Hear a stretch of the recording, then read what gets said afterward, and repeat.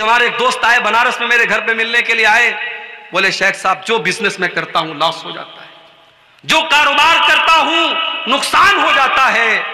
मुझे लग रहा है, किसी ने मेरी, मेरे कारोबार पर जादू कर दिया है, मेरे बिज़नेस पर बंदिश कर दी है। मुझे लग रहा है, मेरे मेरे कारोबार को किसी ने रोक दिया है। तो मैंने उनको समझाया। मैंने कहा, पहले आप गौर कीजिए। कहीं ऐसा तो नहीं कोई गुनाह का काम हो रहा है घर के अंदर। कोई अल्लाह को नाराज़ करने वाला काम तो नहीं हो रहा है।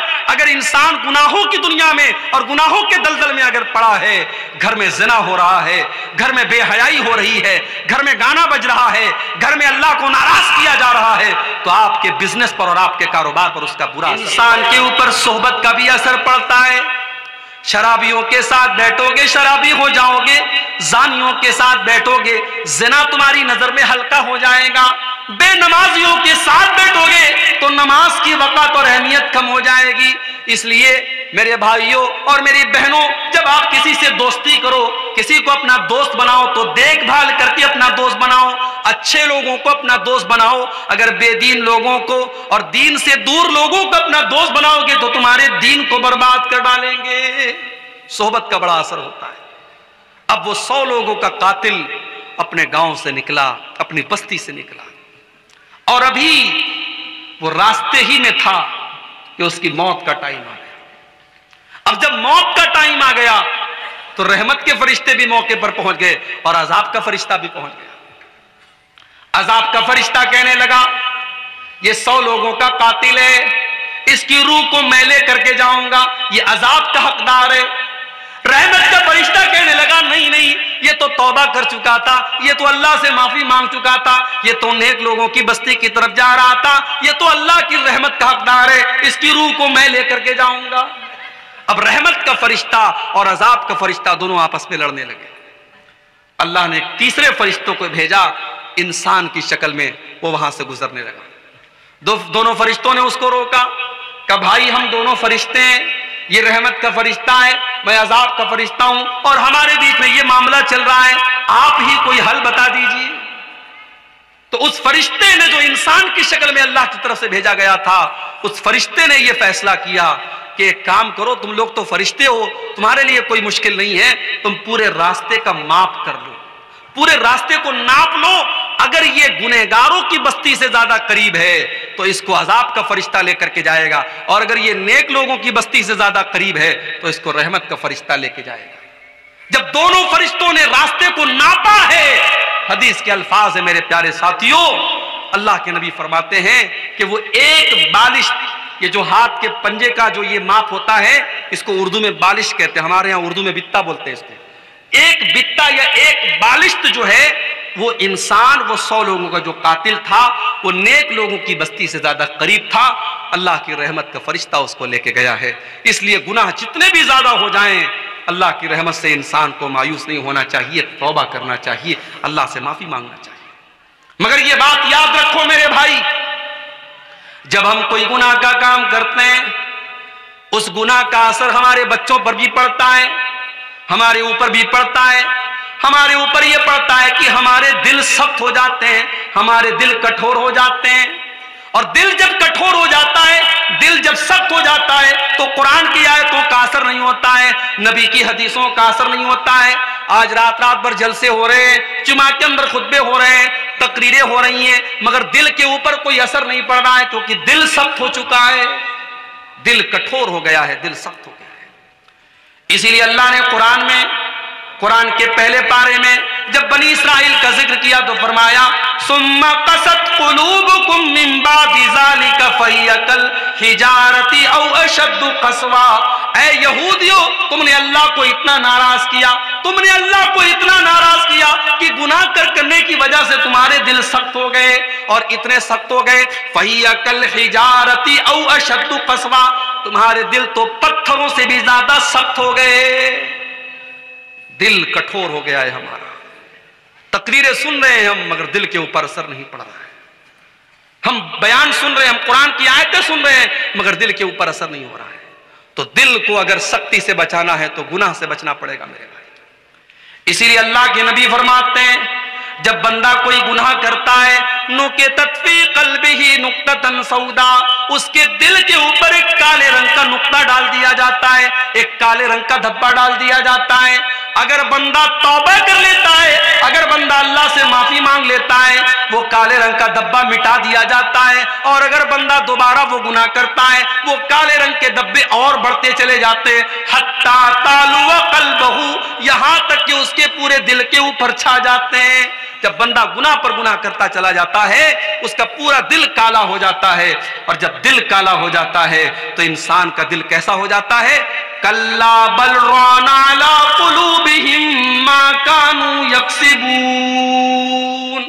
इंसान के गुना उसके दिल के ऊपर छा जाते हैं, फिर दिल के ऊपर कोई असर नहीं पड़ता है। तो इसलिए अगर गुनाह करेंगे हम तो हमारे दिल सख्त हो जाएँगे, ये गुनाह का पहला नुकसान। गुनाह का दूसरा नुकसान, इंसान अगर गुनाह करेगा, उसकी रोजी रोटी पर असर पड़ेगा। उसके मुकद्दर में जो रोजी मिलने वाली थी उसकी दुकान पे जो कस्टमर आने वाला था, उसके कारोबार में जो मुनाफा और प्रॉफिट होने वाला था, वो अल्लाह ताला हटा लेता है, छीन लेता है। इन्नल अब्दा लयुहरमु लयुहरमु बिन बंदा अपने गुनाह की वजह से अपनी रोजी रोटी से महरूम कर दिया जाता है। इंसान की रोजी रोटी पर असर पड़ता है। इसीलिए अगर इंसान नेकी का रास्ता इख्तियार करेगा, तकवा का रास्ता इख्तियार करेगा तो अल्लाह उसको रोजी रोटी के दरवाजे भी उसके लिए खोल देगा।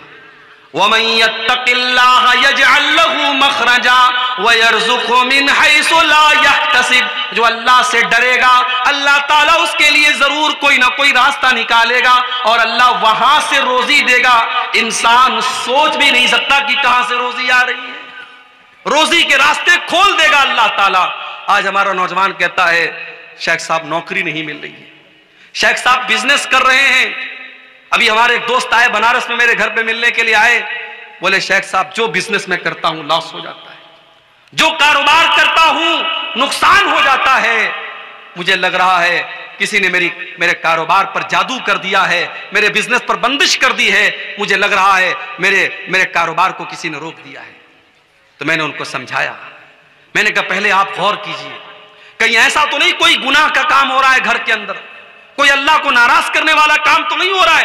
अगर इंसान गुनाहों की दुनिया में और गुनाहों के दलदल में अगर पड़ा है, घर में जना हो रहा है, घर में बेहयाई हो रही है, घर में गाना बज रहा है, घर में अल्लाह को नाराज़ किया जा रहा है तो आपके बिज़नेस पर और आपके कारोबार पर उसका बुरा असर पड़ेगा मेरे भाई, क्योंकि अल्लाह के नबी फरमाते हैं इन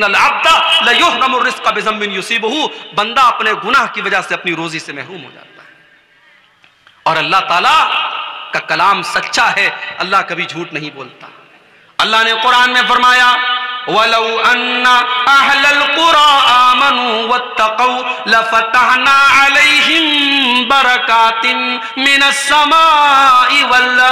अगर ये बस्ती वाले, अगर ये गाँव वाले, अगर ये ईमान वाले बन जाएँ, ये अगर मुत्तकी और परहेजगार बन जाएँ तो हम आसमानों ज़मीन की बरकत के दरवाजे इनके ऊपर खोल देंगे। बरकतों के दरवाजे खुल जाएँगे मेरे भाई। साहबा को देखो। साहबा ने छोटा छोटा बिज़नेस किया था। अभी मुंबई से मेरे पास फ़ोन आया। 28 तारीख को मेरा प्रोग्राम है मुंबई में। वहाँ से फ़ोन आया, मौलवी साहब, अगर आपको मौका मिले तो जरा बिज़नेस और तजारत पर बोलिएगा। आज हमारी कौम के लोग तजारत में बहुत पीछे है। थोड़ा बिज़नेस और तजारत पर बोलिएगा। मेरे भाइयों बिज़नेस में बड़ी बरकत है, तजारत में बड़ी बरकत है।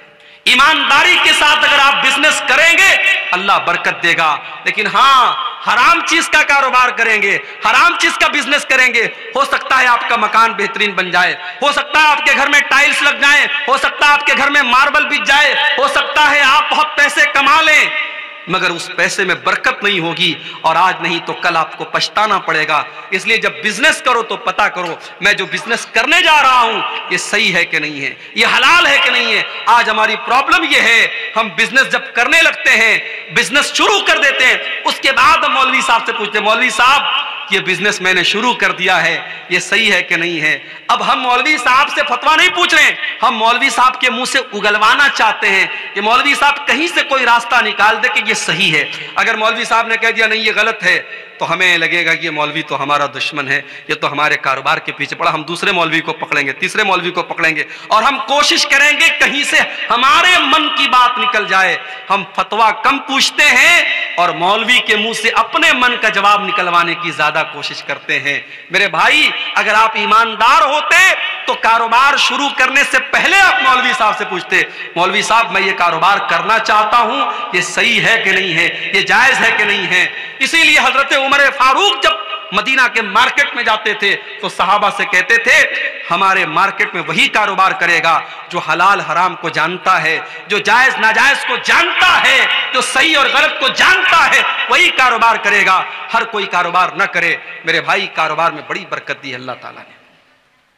जब अल्लाह के नबी मदीना पहुँचे, बड़े गौर से सुनना मेरे भाइयों, जब अल्लाह के नबी मदीना पहुँचे, आपको पता था मक्का के मुहाजिर बेचारे बेसहारा हैं, उनके पास अभी कोई बिज़नेस नहीं है, उनके पास अभी कोई घर नहीं है आपने मदीना के अंसारी साहबा को और मक्का के मुहाजिर साहबा को नाम ले लेकर के भाई बना दिया। एक एक का नाम ले लेके भाई बनाया। ये मदीना का अंसारी है, ये मक्का का मुहाजिर है, ये दोनों एक दूसरे के भाई भाई हैं। दोनों का हाथ उठा करके अल्लाह के नबी ने भाईचारा करा दिया। हज़रत अब्दुलरहमान इबन औफ जो मक्का में बिज़नेस किया करते थे, तजारत किया करते थे, अपनी सारी, सारे बिज़नेस को छोड़ करके वो बेचारे खाली हाथ आए थे। अल्लाह के नबी ने उनको हज़रत सात बिन रबी का भाई बना दिया। हज़रत सात बिन रबी आए अपने भाई के पास। कहा अब्दुलरहमान आप मेरे भाई हैं। नबी ने आपको मेरा भाई बनाया है। आए अब्दुलरहमान ये मेरा घर है। आज से मैं दो हिस्से कर देता हूँ। आधा आप ले लीजिए, आधा मैं ले ये सगे भाई नहीं थे। नबी की ज़ुबान से बस नबी ने भाई बना दिया। आज तो इंसान अपने सगे भाई का हक मारने को तैयार है। अपनी सगी बहन का हक मारने को तैयार है। बाप मर गया, बाप की प्रॉपर्टी में बहन का भी हक बनता है। बहन ने आकर के कहा, भैया, बाप की प्रॉपर्टी में मेरा भी हक है, मुझे दे दो। भाई ने बड़े गुस्से में कहा, तेरी शादी हुई थी, दो लाख रुपए का खर्च आया था, तीन लाख का खर्च आया था, जेवर मैंने बनवाया था, जहेज का इंतज़ाम मैंने किया था अगर तू मुझसे अपने बाप का तरका मांगती है तो चली जा। आज के बाद भाई बहन का कोई रिश्ता नहीं रहेगा। बहन ने हक मांगा नहीं कि भाई ने बहन से रिश्ता तोड़ दिया। मेरे भाइयों, इस्लाम ने यह हक दिया है बहन को। अल्लाह ने यह हक दिया है बहन को। बाप की प्रॉपर्टी में जैसे बेटे का हक है, वैसे बेटी का हक है। आपके चेहरे पर माशाअल्लाह बड़ी लंबी लंबी दाढ़ी है। आपकी पेशानी पर सज्जे का निशान है। और आप अपनी बहन का हिस्सा अगर डकार गए हैं और अपनी बहन का हिस्सा खा गए हैं तो कल कयामत के दिन अल्लाह की बारगाह में जवाब देने के लिए तैयार रहिएगा। अल्लाह क्या पूछा जाएगा, तूने अपनी बहन का हक क्यों मारा? तूने अपनी बहन का हिस्सा क्यों, उसको क्यों खा गया तू? आज हालात ये है, देखो मेरे भाई। आज लोग अपनी बहनों का हक मार लेते हैं। आप गौर कीजिए कि किस तरीके से आज हमारी रोजी रोटी पर असर हो रहा है। यहाँ अब्दुलरहमान इब्ने औफ को नबी ने भाई बनाया है। सगे भाई नहीं है, नबी की ज़ुबान से भाई भाई बने हैं। हज़रत सात बिन रबी कहते हैं अब्दुलरहमान ये मेरा घर है, आधा तुम ले लो, आधा मैं ले लेता हूँ। ये मेरे खजूरों के बागात हैं, आधे तुम ले लो, आधे मैं ले लेता हूँ। मेरी चार बीवियाँ हैं, तुम पसंद कर लो, किसी एक को मैं तलाक दे देता हूँ और इद्दत गुजरने के बाद तुम शादी कर लेना। बीवी तक देने को तैयार हो गए। कि तुम तुम नए आए हो। अभी तुमको मदीना में रिश्ता नहीं मिलेगा। शादी होना मुश्किल है। मैं घर भी दे देता हूँ। घरवाली का भी इंतज़ाम कर देता हूँ। मेरी किसी बीवी को पसंद कर मैं तलाक दे देता हूँ। इद्दत गुजर जाए तो तुम निकाह कर लेना। हमें सुनकर के थोड़ा अजीब लग रहा है अपनी बीवी को तलाक देने की बात कर रहे हैं। मगर ये था उनके दिल की ये बात थी। उनके दिल इतने बड़े थे, उस समाज में यह ऐब की बात नहीं थी। अपने भाई के लिए अपना सब कुछ कुर्बान करने को तैयार थे। लेकिन हज़रत अब्दुलरहमान भी बड़े खुददार आदमी थे। बड़े खुददार आदमी थे, उन्होंने कहा, नहीं ऐसा बिन रवि अल्लाह तेरे माल में बरकत दे, तेरे परिवार में बरकत दे, मुझे तेरा घर नहीं चाहिए, मुझे तेरा बिज़नेस नहीं चाहिए, अल्लाह तेरे परिवार में और बरकत दे, तेरे रोजी रोटी में और बरकत दे, मुझे बस बिज़नेस करना है, मुझे मार्केट का पता बता दो। मेरे प्यारे साथियों, हज़रत अब्दुलरहमान इब्ने औफ ने मदीना के एक मार्केट से खजू, घी का और पनीर का बिज़नेस शुरू किया। घी और पनीर का बिज़नेस उन्होंने चंद पैसों से शुरू किया और कुछ ही दिनों में इतनी बरकत अल्लाह ताला ने उनके कारोबार में दे दी। इतनी दौलत उनके पास आ गई, इतना पैसा उनके पास हो गया कि उन्होंने जब शादी की तो अपनी बीवी को मेहर में उन्होंने खजूर की गुठली के बराबर सोना दे दिया। और जब नबी ने उनके कपड़े पर जर्दी का निशान देखा और नबी ने पूछा कि अब्दुलरहमान, क्या तुमने शादी की है? कहा कि हाँ अल्लाह के नबी मैंने शादी की है। तो अल्लाह के नबी ने पूछा कि, अपनी बीवी को तुमने मेहर में क्या दिया? नबी ने पूछा कि अब्दुलरहमान, तुमने अपनी बीवी को मेहर में क्या दिया? हमारे यहाँ जब किसी लड़के की शादी होती है तो लड़के से पूछा जाता है, तुझे जहेज में क्या मिला? फोर व्हीलर मिली कि टू व्हीलर मिला? वॉशिंग मशीन मिली कि फ्रिज मिला?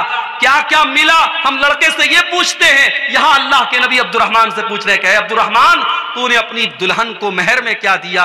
कहा अल्लाह के नबी, मैंने खजूर की गुटली के बराबर सोना दिया है। आपने फरमाया, इसका मतलब कि तुम्हारे पास पैसा है, तुम मज़बूत हो। औलिम वलो बिशातिन तो तुम वलीमा करो। चाहे तुम्हें एक बकरी ही का वलीमा करना पड़े, लेकिन तुम वलीमा करो। मेरे प्यारे साथियों, कारोबार में अल्लाह ताला बहुत बरकत देता है। अगर हम गुनाहों से बचेंगे, अल्लाह हमारे कारोबार में बरकत देगा। मगर हम झूठ बोलेंगे, बेईमानी करेंगे, चोरी करेंगे, कारोबार में फ्रॉड करेंगे तो कान खोल करके सुन लो। अल्लाह के नबी फरमाते हैं वही कद बरकत बई ईमा जिस कारोबार में फ्रॉड किया जाए, धोखा किया जाए, उस कारोबार की बरकत को अल्लाह ताला छीन लेता है। और आगे बढ़िए। गुनाह करने का एक नुकसान और होता है। गुनाह करने वाला कयामत के दिन अंधा बना के उठाया जाएगा। वमन आरजा का जो हमारे ज़िक्र से मुँह मोड़ेगा जो हमें याद नहीं करेगा जो हमको नाराज़ करेगा हम उसकी ज़िंदगी को परेशानी वाली और बेचैनी वाली ज़िंदगी बना देंगे। उसकी ज़िंदगी में सुकून नहीं होगा उसकी ज़िंदगी में शांति नहीं होगी उसकी ज़िंदगी में चैन नहीं होगा उसकी ज़िंदगी बेसुकूनी वाली हो जाएगी डिप्रेशन का शिकार हो जाएगा। दौलत बहुत होगी मगर रातों में रा, उसको नींद की गोलियाँ लेनी पड़ेंगी तब जाकर तो उसको नींद आएगी। उसके घर में खाने की कमी नहीं होगी। मगर चाय बनेगी तो कहेगा, साहब, मेरी चाय में चीनी मत डालना, मुझे शुगर हो गया है। चिकन बनेगा तो कहेगा, मुझे चिकन मत देना, मुझे शुगर हो गया है। एक चीज़ खाएगा तो दस चीज़ों से परहेज करेगा। इतनी बीमारियों में अल्लाह ताला डाल देगा। वमन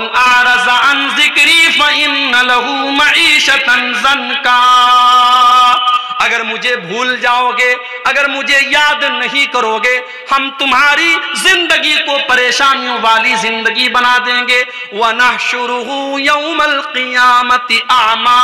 और कयामत के दिन हम तुम्हें अंधा बना करके उठाएँगे। दुनिया में बड़ा अच्छा देखता था, चश्मा भी नहीं लगाता था, मगर कयामत के दिन अंधा बना के अल्लाह ताला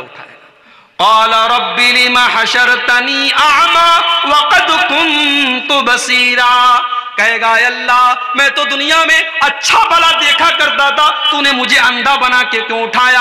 अल्लाह फरमाएगा कजाली का तत्का आया तुना फनसीता व कजाली कल यौम तुनसा। मेरे बंदे, तू हमारी आयतों को देख करके इग्नोर कर देता था, नजरअंदाज कर देता था। आज हम तुझे इग्नोर कर देंगे, नजरअंदाज। कर देंगे तो गुनाहों के ये नुकसान है मेरे भाई।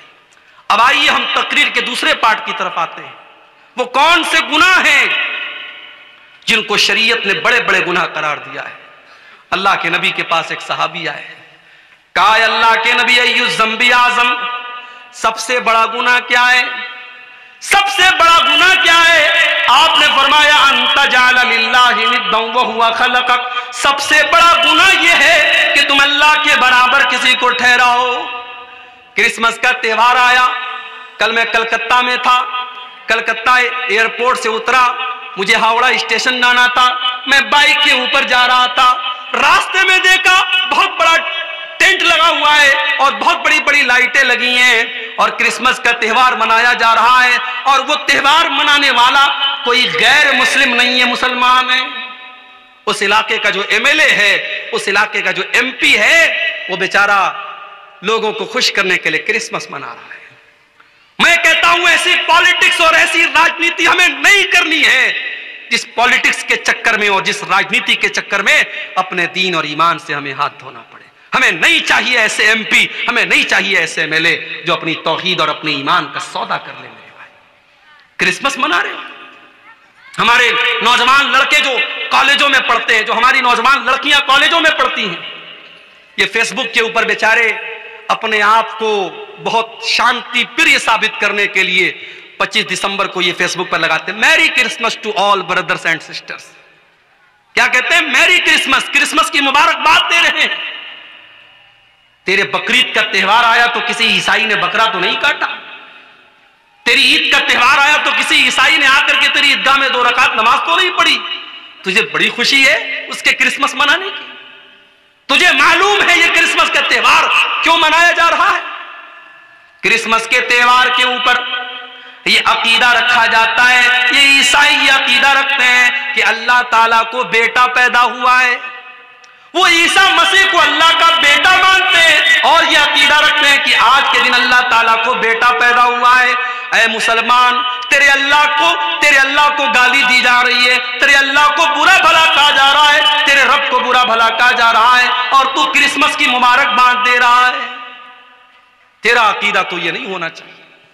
तेरा अकीदा तो कुरान की सबसे छोटी सूरत में बता दिया गया। कुल अहद, अल्लाह समद, लम यलिद वलम यूलद वलम यकुल लहू कुफुवन अहद। ऐ नबी, आप कह दीजिए, अल्लाह एक है, अल्लाह बेनियाज है, अल्लाह का कोई बेटा नहीं और अल्लाह किसी का बेटा नहीं। वलम यकुल लहू कुफुवन अहद, और अल्लाह के बराबर कोई नहीं। अल्लाह का बेटा बनाया जा रहा है। और तू है मैरी क्रिसमस बोल रहा है, तू मुबारकबाद दे रहा है। और बंगाल की पॉलिटिक्स में ये बहुत ज़्यादा हो रहा है। मैं देख रहा हूँ, गैर मुस्लिमों के त्योहार होते हैं, उनके मजहबी देवी देवताओं के फ़ोटो लगा लगा करके हमारे ये मुसलमान जो लीडर्स होते हैं, ये उनको शुभकामनाएँ देते हैं। वो कहते हैं, साहब, पॉलिटिक्स से करना पड़ता है। पॉलिटिक्स के नाम पर अगर आपको अपने दीन और अपनी तोहिद से कॉम्प्रोमाइज करना पड़े तो ऐसी पॉलिटिक्स से आप तौबा कर लीजिए, मेरे भाई, नहीं करनी चाहिए ऐसी पॉलिटिक्स। इस्लाम के अंदर दो रंगी नहीं है, इस्लाम के अंदर दोगलापन नहीं है। इस्लाम तोहीद वाला मज़हब है। अगर आप इस्लाम को मानते हैं तो तोहीद से कभी कॉम्प्रोमाइज कर मत कीजिए। अल्लाह के प्यारे नबी के पास ऑफ़र आया। मक्का के काफिरों ने ऑफ़र दिया। अय मोहम्मद सल्लल्लाहु अलैहि वसल्लम, हम आपको एक बड़ा बेहतरीन ऑफ़र करते हैं। एक दिन आप हमारे बुतों के आगे सजदा कीजिए। हम एक दिन आपके अल्लाह के आगे सजदा करेंगे। एक दिन आप हमारी मज़हब पर, हमारे मज़हब को फॉलो कीजिए और एक दिन हम आपके मज़हब को फॉलो करेंगे। बड़ा अच्छा ऑफ़र था। बीच का रास्ता निकाला गया था। जैसे आज के जमाने में बहुत सारे मुसलमान कहते हैं कि भाई इस्लाम भी एक मज़हब है क्रिश्चियनिटी भी एक मज़हब है ज्यूइज्म भी एक मज़हब है हिंदुइज्म भी एक मज़हब है, सारे मज़हब एक है, रास्ते अलग अलग है, मंजिल एक है। माफ़ करना मेरे भाई, ये अकीदा इस्लाम का अकीदा नहीं। इस्लाम का अकीदा ये नहीं है कि सारे रास्ते अलग अलग है, मंजिल एक है। इस्लाम का रास्ता ये है, मंजिल भी एक है और रास्ता भी एक है। और वो रास्ता अल्लाह का रास्ता है, वो रास्ता रसूल का रास्ता है, वो रास्ता इस्लाम का रास्ता है। वह इस्लाम दीन फलन जो इस्लाम को छोड़ करके कोई और रास्ता अपनाएगा, उसके मज़हब को अल्लाह ताला कबूल नहीं करेगा, स्वीकार नहीं करेगा। वह हुआ फिल और आखिरत में वो खसारा उठाने वालों में से होगा। और हिंदू मज़हब में भी यही बात कही गई। हमारे हिंदू भाइयों की बड़ी मशहूर किताब है, श्रीमद भागवत गीता। उसके अंदर श्री कृष्ण जी ने भी यही कहा है कि तौहीद का रास्ता ही सबको नजात दिलाएगा। सर्वधर्मान परित्यज्य मामेकम शरणम व्रज। हम त्वा सर्व पापेभ्य मोक्षयिष्यामि मा शुचः सारे धर्मों को छोड़ दे, सारे रास्तों को छोड़ दे और ईश्वर की परमात्मा की शरण में आ जा, अल्लाह की पना में आ जा, मेरी पना में आ जा, मैं तेरे सारे गुनाहों को मिटा दूँगा, तुझे नजात दे दूँगा, तुझे जन्नत में डाल दूँगा, तुझे स्वर्ग में डाल दूँगा। यही हिंदू मज़हब के अंदर भी कहा गया, यही इस्लाम के अंदर भी कहा गया कि एक रास्ता जो नजात देने वाला है, वो तोहहीद का रास्ता है, वो अल्लाह का रास्ता है। मेरे भाइयों, इंसानियत के नाम पर और मानवता के नाम पर अपने आप को इतना हल्का मत बनाओ कि अल्लाह के साथ शिरक हो रहा है और तुम क्रिसमस की मुबारकबाद दे रहे